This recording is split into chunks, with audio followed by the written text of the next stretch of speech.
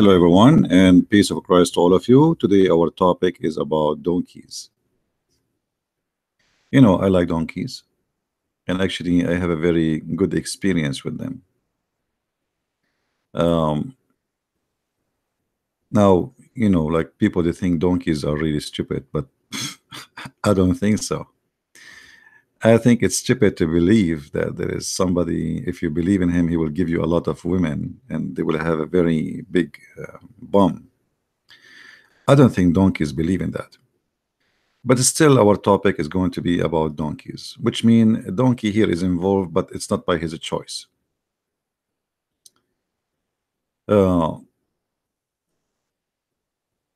hello everybody from Indonesia. And actually this is why I am doing this early. So people who they are from Indonesia they are with us. Otherwise I know most of people now especially like the majority of those who follow me they are already uh, in bed mostly. So what the donkey have to do with our story today? You know uh, I mentioned before something Muhammad he said. But what we will do we are going to try to analyze how Muhammad and what he think about his followers. You know every teacher in case we want to call Muhammad a teacher he uh, he speak to his uh, student in their level. But no matter how you know I mean how bad the student are we should not go and exaggerate in lies in order to convince a student to do something. As an example you know when we were kids in the Middle East they used to scare the kids from rats. So they say to him if you don't do this we will put you in the rat room. And once the teacher she thought I am going to be scared.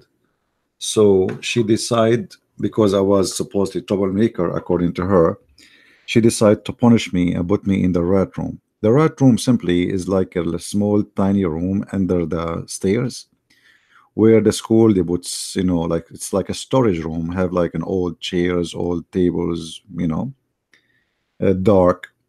So she took me there and she put me in that room. I was like, I don't know, maybe nine years old. I'm, I'm not sure. I don't really. But anyway, so she came after 15 minutes. Suppose this is my punishment, and supposedly I would be terrified. And when she came in, she found I have a mice in my hand. and I throw it at her. and she is the one who was terrified and scared like crazy. So they lie to you to scare you about something scary supposedly but it's not really scary. I mean mice is a mice. Is not really a scary. It's just a poor little animal. But teachers in this case we will talk about we are just kids and kids you know like I mean they get scared from anything. Um like you know in the Middle East uh, so the child will not go away from the house. They say to him there's a beast. He will kidnap you. Uh, you can ask Middle Eastern. You know this is how they make awareness for children is not to stay away uh, because how they can explain to them that in the country we are we have a lot of child molesters the same as the prophet.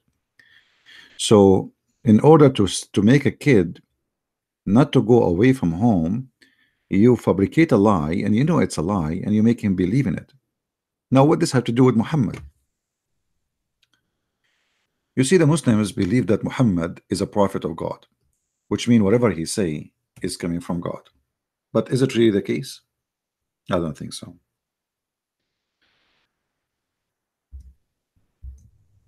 Let's read this hadith. The Prophet said, speaking to his followers,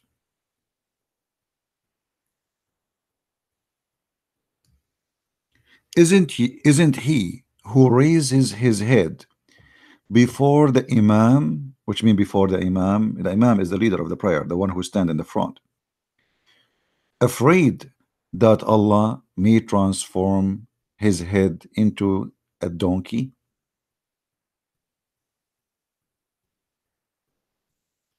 Here we see that Muhammad not only he is playing as a false prophet because supposedly he is telling something God told him. This is not a teacher teaching a bunch of kids trying to scare them of something so they will not do something wrong. This is a man speaking to men. And when a man he claimed to be a prophet of God, and yet he claimed that if you raise your head before the imam that will make you or make your head the head of a donkey the purpose is very simple the purpose he is trying to scare you so you will not raise your head before the imam the leader which is him finish the prayer. So now Muhammad he installed in the heart of the followers a fear that no matter what never raise your head before the imam finish otherwise Allah will transform your head into a head of Muslim donkey here we have to notice two things. At least Muhammad he make fun of his followers he don't respect them. And Muhammad he believe that they are too much naive to the point they can believe in such a story. There is no way Muhammad he will say such a thing unless he is sure that the ones who is behind him are a bunch of donkeys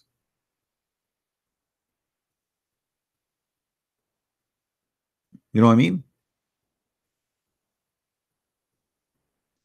Imagine you are exist in the time hmm, you see forget about Christians forget about the Jews forget about the Hindus forget let us go to the time of the Greek. I mean imagine you are in the Greek time and then the teacher he is saying to you a philosopher a Aflaton saying to you if you raise your head before your master you will be cursed and you will transform into donkey. I mean people will laugh at him. So what we notice here Muhammad he understands very well how naive is the society he is living in. And because he understands very well that those people they believe in anything he is taking advantage of them and he is making such a stupid lie. And now after 1400 years. How many Muslims they left their head before the Imam? You can watch any movie any video on YouTube or like there is a live broadcast for the Kaaba. You will see many Muslims they raise their head thousands they raise their head every day before the Imam if not millions. It's impossible actually to, that everybody raise the head at the same time because your head is down and you do not know if the Imam is done or not Yet until now, we would not did not see one Muslim his head became a head of a donkey. So here, if we ask the Muslims, was Muhammad lying, or he was making fun, or he was telling the truth? If the Muslim they say he is telling the truth, well, that's mean you Muslims are really crazy. Go right now, raise your head before the Imam, and you will see nothing will happen to you. If a Muslim will say to us, Muhammad was uh, exaggerating, which means he is lying to us, I mean, this is horrible. Which one? Which one you, as a Muslim, you choose for yourself? Muhammad always he disrespect his followers and he made fun of them. Another example.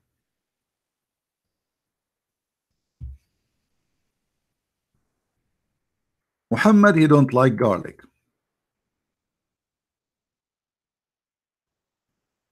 Okay.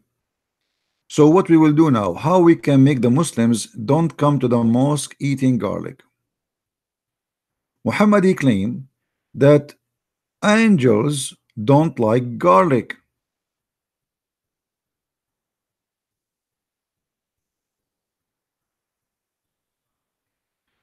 Angels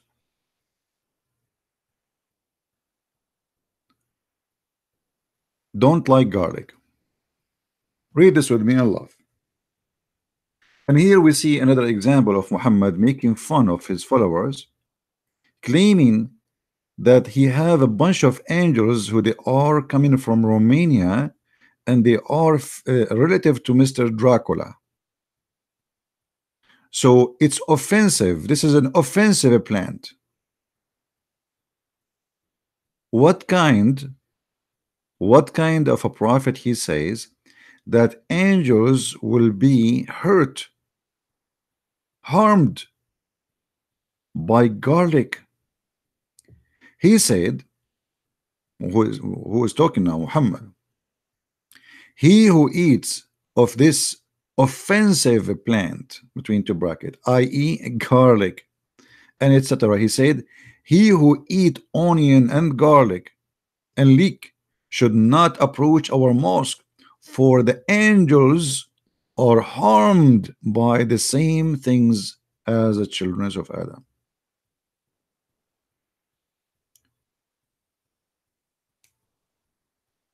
And no you know for me I saw uh, a movie once about Dracula and supposedly Dracula don't like garlic. But angels of God can be infected or affected by uh, garlic. Uh, that need a lot of explanation from anyone who believe in Muhammad to be a prophet of God. Obviously Muhammad he is really not respecting his followers and he believed that they are a bunch of kids and whatever he says to them they have to take and accept. What garlic? We are talking about angels of God. And yet you tell me an angel who will be scared of garlic Another example.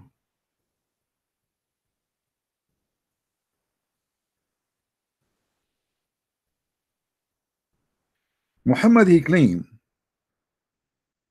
that the angels is not coming to his house because there was a little puppy under his bed.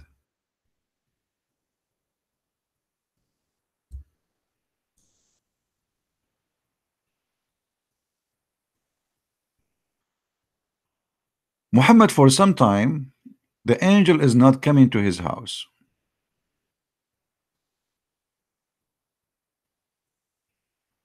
So Muhammad now he want to explain why the angel Jibril is not coming to his house. Or let us say he's trying to investigate why. Aisha reported that Jibril made a promise with Allah messenger to come to him at definite hour. Okay see uh, uh, Jibril is a businessman. You know I will come to you let's say six o'clock. He will be there six o'clock never late. That hour came but he did not visit him. And there was in his hand the hand of Allah apostle a staff. He threw it from his hand and said never. He was upset. Hm, never has Allah of his or his messenger angels over broken their promise? Muhammad now is worried. Allah broke his promise. Then he cast a glance and he found the puppy under his coat. By the way this is a fast translation. Um, it's not really under the coat. It is under his bed. Coat his cot is mean bed? I don't know if the translation is correct. I don't know what really cot mean. Cot. Is cot mean bed? I'm not sure. If it's mean bed, that's mean this correct translation. And he said, Aisha.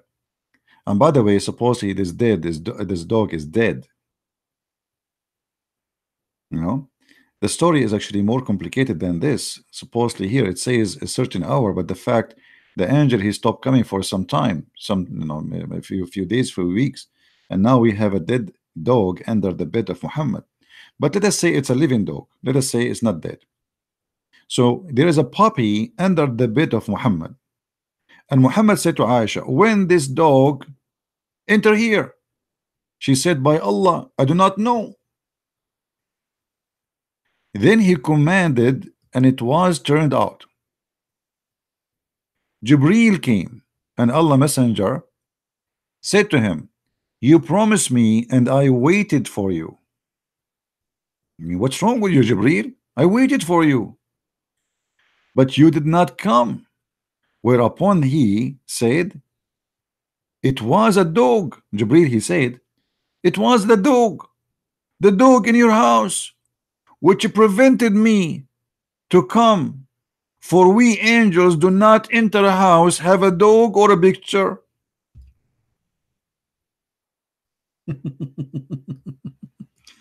now, I am assuming that if I am a believer, I have to agree that an angel of God who have 600 wings, who is a mighty angel, he cannot enter a house, have a little puppy.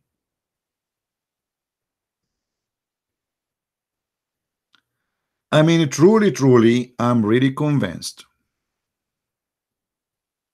Obviously, Muhammad is saying the truth.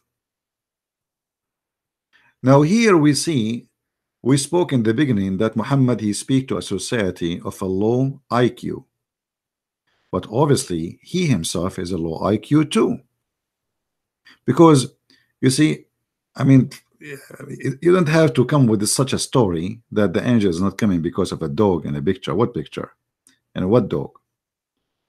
I mean, dogs are everywhere. The, the earth have a dog anyway. The whole earth. What about the what about the angels will not enter to the earth because we have dogs in the earth?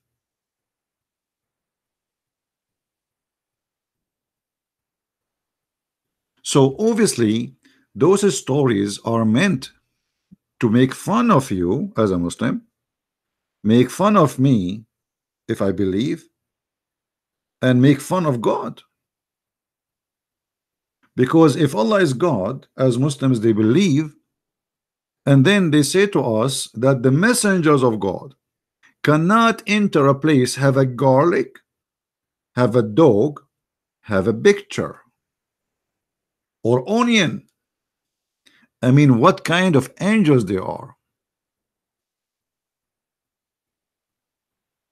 And by the way, I am not worried about any of the angels of Allah to come to my house because I have my TV on, which is a picture, and I have garlic in my kitchen.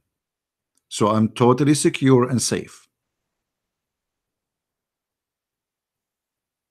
So when somebody he come to me and he says he's a Muslim, what does that mean exactly to be a Muslim?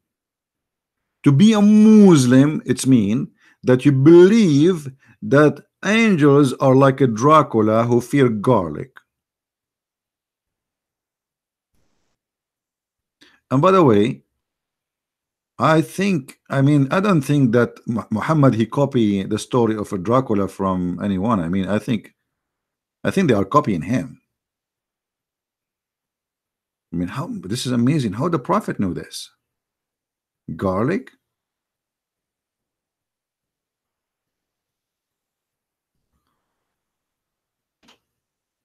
If we ask a Muslim how in the world a big powerful angel uh, I'm talking about big I mean Muhammad he says in the Quran when he came he closed the horizon. And even the hadith confirmed that. He covered the horizon. This is so huge Yet he cannot enter a house, have a puppy. Who, who, who, who? He, Angel Jibreel, come in. Who, who? I cannot, uh, sorry, I cannot. You have a puppy.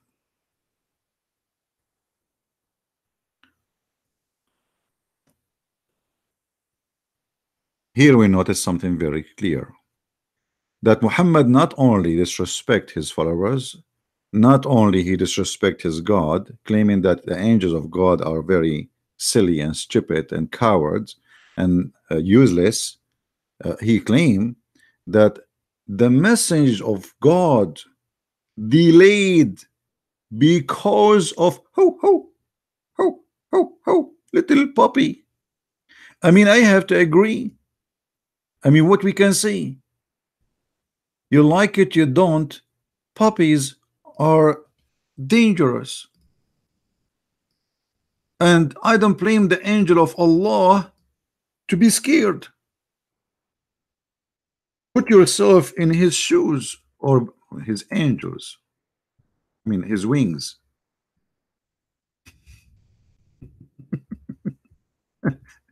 Puppy. Look at this. You have an angel coming to your house and then this angel, he see this. How in the world this angel will be able to enter your house? I mean, we have to be fair and we have to be realistic. This is very scary. And angels cannot enter a house, have a puppy.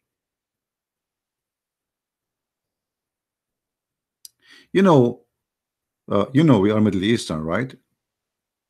And you know, my family, we work as pirate. Actually, part of the Caribbean, like you know, taken inspired from my family story. So we as pirate once we enter a bank to rob it, but we saw inside the puppy like this and we could not get in. And since that time, all banks in America, they are not getting any security cameras or police. They have a little puppy in the corner. Neither us, neither the angels can get in. Happy for you. The bank is secure. So I am mentioning those stories because if Muhammad is a prophet of God and he claimed that he is speaking of God and knowledge of God and yet he claimed that the delay a, a, delay of God message God himself could not deliver to Muhammad a message because of a puppy. What kind of God we are talking about? Imagine Donald Trump, he sent his army and the leader of the US Air Army in the front. And they arrive in the front of somebody, a king, to deliver a message, but they could not get in because our army have a weakness. Please come in. He is waiting for you, for your message. You say, sorry, I cannot. You have a puppy. My friend, if you think Muhammad is a prophet of God, you better and uh, and Jibril is an angel, you better stop believing in Jibril and believing in this puppy because this puppy obviously he defeated Jibril. You see, this puppy can go where Jibril cannot go, which means wherever this puppy is, Jibril have no place. People, are getting my point? Are you getting my point? If this puppy now he enter out in the backyard of the house of Muhammad, the angels cannot go there too. So wherever the puppy goes, angels run away. So who is the weak?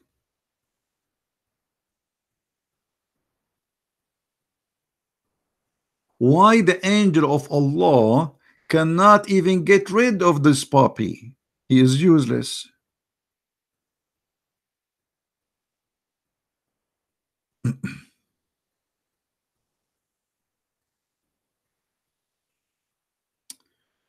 Debate the representative of the Antichrist. You will be in trouble instantly. Enlightening times ahead. Don't be afraid. This guy is talking to me. Who is the representative of Antichrist. What are you talking about?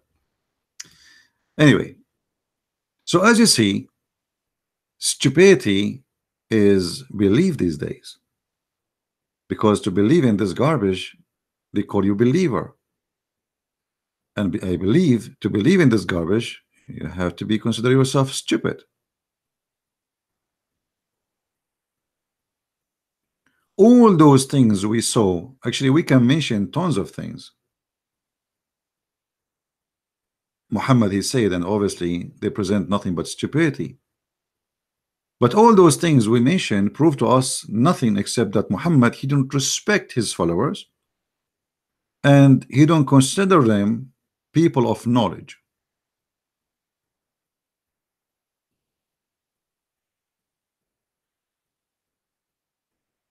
He considered them a bunch of kids.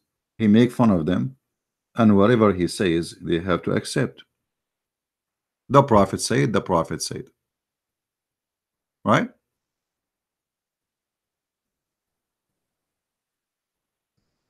Now, I would like to see Muslims leaving comment down there. And please, if you don't mind, I would like you to answer us. Why a little puppy?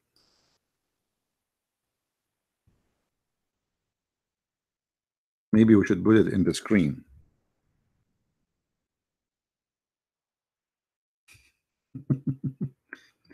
Why a little puppy defeated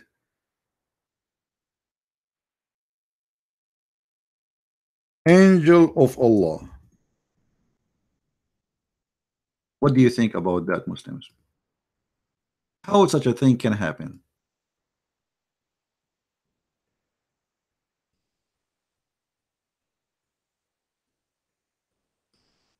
How you believe in that?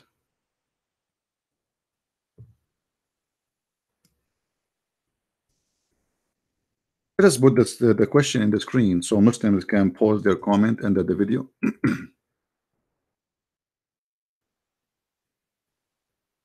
All right. Why not little people? Sorry, little puppy. Okay, let me fix it. Puppy, puppy.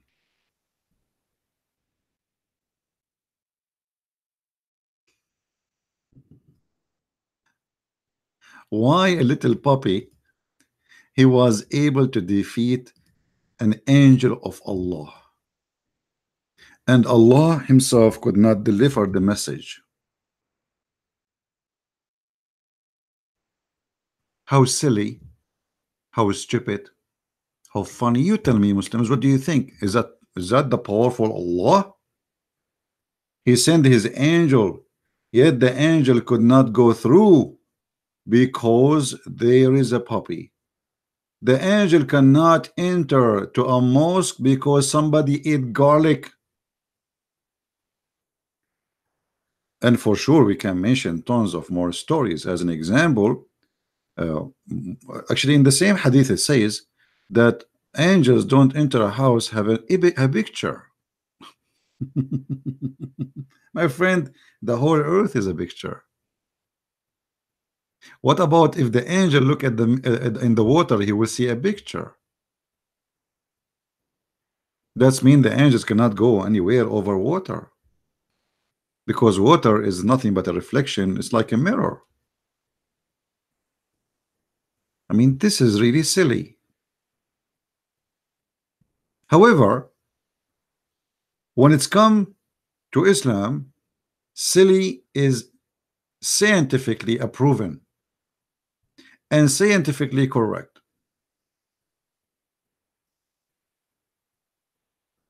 But for me, I love and I wonder what happened to the brain of a human being. How a human being can accept such a thing to be coming from God. Your God, Muslims, fear puppies his message, his delivery cannot come to the prophet because of a puppy.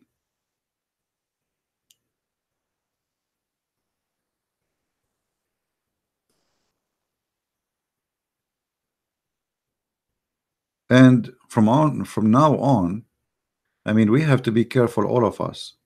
If you like angels to come to your house, please be careful.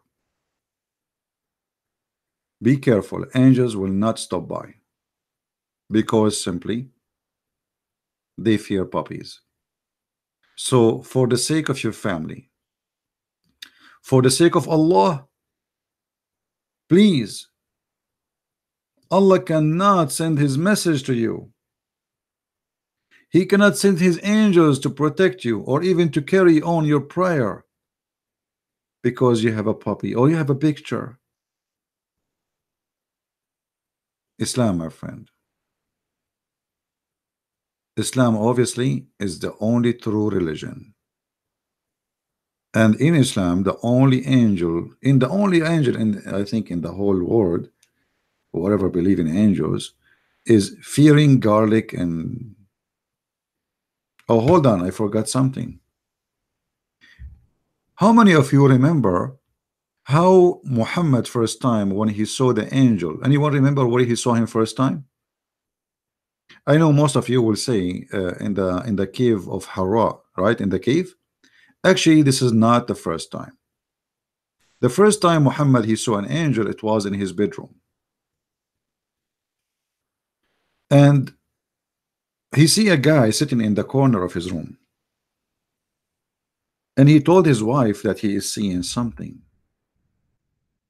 His wife Khadija, she said to him, well, next time you see him, let me know. So the prophet, he saw him again. Let me search for the reference so I can show it to you.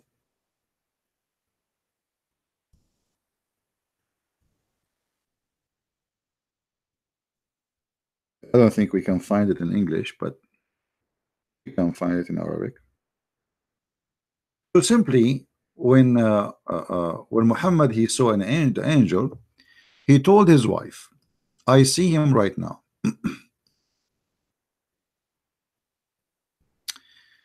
this is Asira Nabawiya li Ibn Hisham, the book name. Volume number one, page number 239. Khadija, she said to her husband, when you see the angel of Allah next time, let me know. And Jibril came. So the prophet, he told her, he is here. So his wife, Khadija, she ordered her husband to do the following.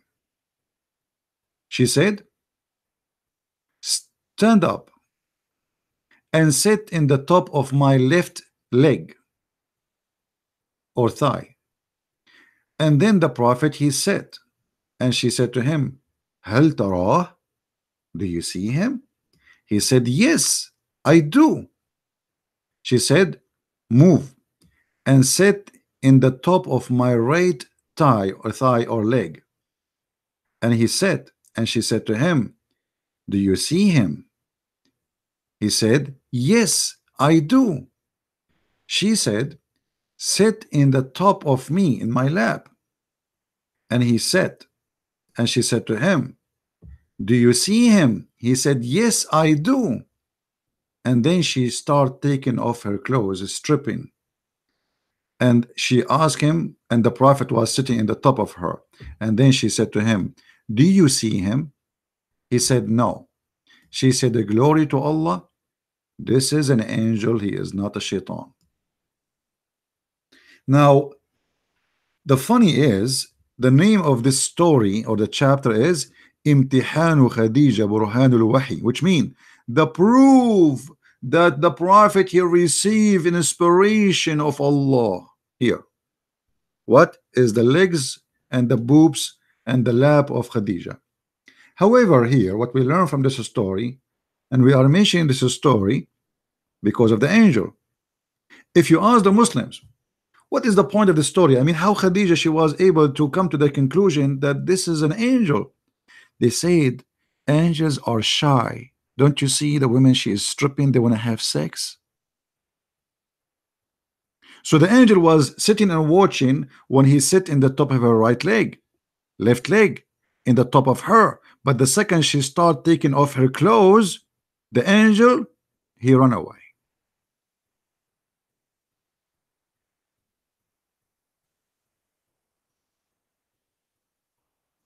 And here again we see how Muhammad and his followers they fabricated stories in order to make Muhammad look like a prophet.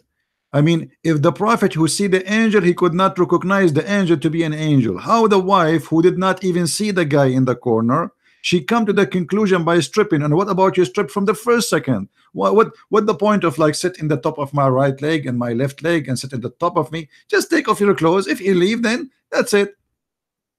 But obviously, this story is stupid story. It's not even good for bedtime. But again, those stories present to us how low the IQ of a person who believe in it and how, how low the IQ of the society around them. And here I'm talking about people who they are naive. You know, I mean, how in the world anyone can believe in this? Imagine I come to you yesterday, I saw an angel in my in my house, and now I, by the way I cannot uh, discover if he's an angel or not because I don't have a wife so I need, I need to hire a wife now. So I can sit now I know why sometime I saw in the movie a guy was sitting in the lap of a woman. Uh-huh this is the prophet Muhammad. Imagine how silly. A man his name is Muhammad sitting in the top of the leg the right leg and then he moved to the left leg of his wife. As if we are uh, talking to a kid okay Habibi Muhammad sit in my right leg. Do you see him Habibi Muhammad? Mm -hmm, mm -hmm. okay now move to my left leg Muhammad. Do you see him Muhammad? Mm -hmm, mm -hmm. okay Habibi Muhammad now sit in the top of me and face me. Do you see him now Muhammad? Mm -hmm. okay Muhammad now look at me and I'm going to take off my clothes. Tell me Habibi Muhammad do you see him? Mm -hmm. he's gone Muhammad. Mm, he's gone are you sure he's gone? Mm -hmm, he's gone. I don't see him no more. Okay, Muhammad. Uh, Muhammad Habibi, he is an angel. I mean, who is the silly and who is the stupid? You tell me. That's why I say to myself, this video should be called My Prophet Funny or Making Fun of Me. Now, please, Abdul, I want you to leave your comment whatever this video is posted in doesn't matter. When you see this video please post your comment and show us where is the intelligence in the stories of your prophet and how in the world you Muslims can believe in such a madness. And sadly me myself I cannot discover if there's an angel in my corner or he is the devil because I don't even have a woman to sit in the top of her leg. And now I know the benefit of having a woman in the house. And now I know why Muhammad have 13 of them. Because wherever he go instead of carrying a woman wherever with him will go he have a woman in every corner. The angels come he sit in the top of the leg and then he can discover if it is a genuine angel or it is the devil.